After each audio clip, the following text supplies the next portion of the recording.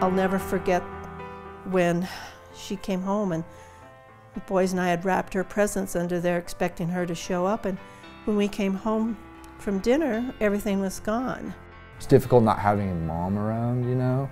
How I didn't have any feelings for my family, how I would just leave my children with my mom and just go into my addiction. My cousin was at the time was the sheriff and he worried that we'd find her in a dumpster. We were all worried. Scary. If I probably did not go to prison or be in recovery, I'd probably be dead by now with my addiction. It's just probably the worst thing you'll ever face in your life is losing your child either by death or by you know them going off and using substances because there's nothing you can do to control it. Addiction is a disease, it's a brain disorder, and that what happens is drugs and alcohol hijack the way you think. And so it's very difficult once you've started using to sort of draw yourself back and get yourself out of that um, rut that you've dug yourself into because your brain is creating new neural pathways and you actually have to stop and have an extended period of time where you're not using the drug and alcohol and learn new coping skills and techniques and skills in order to be able to stay um, away from using the drugs that make you feel better or make you feel good about yourself. One of the, the, mottos that we have here is we love them until they learn to love themselves, and that's really what we do.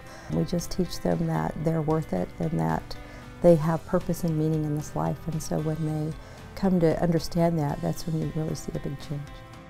Being able to, you know, care about myself, love myself, which was a really big thing, you know, just made me look at life a lot differently. Maybe look at life instead of, oh man, it's just so sad and just live one day at a time. Now I learn, I live one day at a time because I become a better person one day at a time. At the end of the day, I can honestly say the Ridge House helped me change my life. I have literally done more in six months, in the past six months of my life, than I did in the last eight years. A lot more outgoing, uh, a lot more optimistic about my future.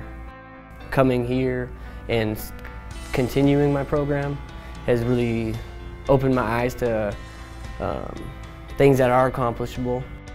The most important thing that we do at Ridge House is we instill hope. That as long as there's breath, there's hope. There's also hope for their children, there's hope for their families. I think it's just keeping up hope. You, have got to never give, give up. You know what I mean? You always got to get, keep thinking you can, it's one step forward and here you go. The relationship that we have now is I couldn't ask for a better one with my boys and my mom. So it's amazing. There is hope. It's possible. I'm living proof of it. Um, 11 years in meth addiction to being clean and sober, today giving back. Um, you need to find support. You need to reach out and ask for help. There's a million and one resources available to anybody that is willing and wanting to.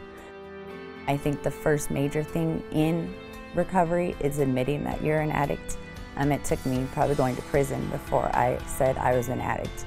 Um, admitting it and wanting and accepting and knowing and asking for help is the key. Proud of where she ended up, you know, it was the best for her. Um, best for all of us, actually. I'm proud of the son that he is right now, but I wish I could have been more a part of the growing up and the person that he is. But I got to give a lot of that to my mom because she was there for him more than I was. She has her daughter back. Well, it's a mutual feeling between the two of us.